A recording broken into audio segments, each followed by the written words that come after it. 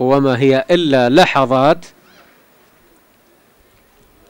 انطلقت الآن الجياد في شوطها الخامس كما تشاهدون بانطلاقة قوية وسريعة على مسافة الألف ومئتي متر.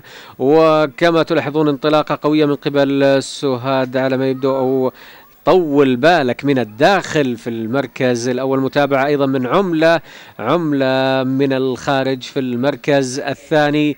وأيضا هناك محاولات آه، لكل من المرشحين القويين محاذر من الداخل وبزود من الخارج.